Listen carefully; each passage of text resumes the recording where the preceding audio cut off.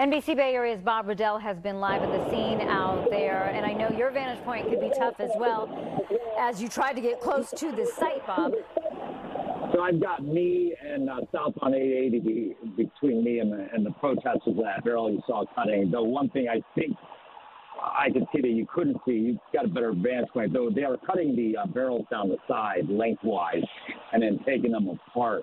Earlier, they had a grinder, a metal grinder, which I have a grinder at home, and that's not sufficient. That's one reason why it's probably taking time.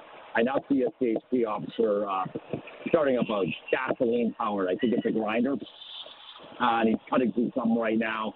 And they might have had a plasma torch or something out here as well. My point is, okay, yeah, it looks like they got the uh, the saws that the fire department used to cut through cars and that's the first time we've seen that. So hopefully that's going to expedite this. Because before it was just a small metal grinder you'd get at Home Depot, but they're, they're bringing that out right now to cut through another piece of metal to get that barrel removed, presumably from the road, as you were describing. It sounds like they were somehow cemented down. So I count uh, three barrels still remaining, and and one, two, at least three protesters with their arms still stuck in the barrel. With regards to one protester who needed the paramedics earlier, uh, they left and she she's doing fine as far as I can tell. She's you know moving and still has her hand in the barrel. So uh, I take it back. I count four barrels now. So uh, again, CHP, uh, they just got a bigger piece of equipment out here. Uh, they are firing up, cutting through the metal, and hopefully that's going to expedite this. It'll take a, less time than using the small grinder, the four-inch grinder that they had earlier. Again, this is a heavy piece of gasoline-powered equipment that the fire department uses uh, to cut through cars. Um, and so this will help getting through the uh, cutting through these oil drums. And again, one reason why it's taking time is they don't want to hurt the people who have their arms in there. Um, and then once they get that removed, hopefully they get traffic moving again. But it's been uh, a couple of hours. You, the front line of cars here in traffic, I believe that they are associated with the protest and that they are the ones who stopped the traffic and got the, air, the oil barrels out. But they are out here videoing this and they seem to be uh, at some points um, chanting on and encouraging on the, uh, their colleagues who are, have their arms in the barrels. And you've got construction workers who are trying to get to their jobs are just standing out here waiting for, for this to get cleared.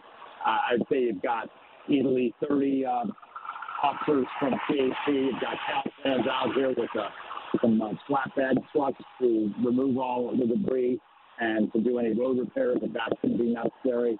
Uh, but it is a mess out here in the backup. I know as you can see from Sky Ranger, it extends for hundreds of yards, if not miles, definitely as far as the eye can see.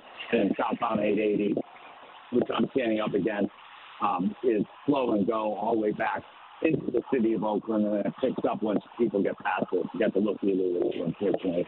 So again, if you're just joining us, northbound 880 shut down just south of the Embarcadero, Fifth Avenue exit here in Oakland because of these um, pro-Palestinian protesters who, who have interlocked their arms into these oil barrels and somehow secured them onto the roadway, it appears.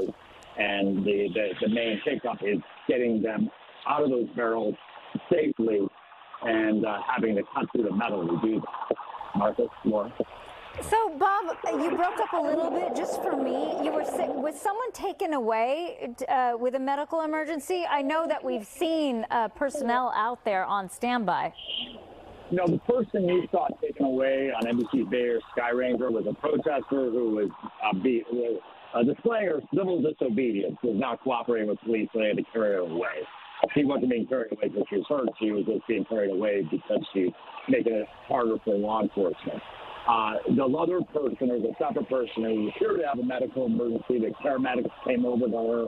Uh, they have since left, and she appears to be doing fine. She still has her hand um, secured into that barrel with the PVC pipe, and she's sitting up against the barrel. Okay. Okay. Thank you for the clarification there. I did see the medical uh, personnel on standby there.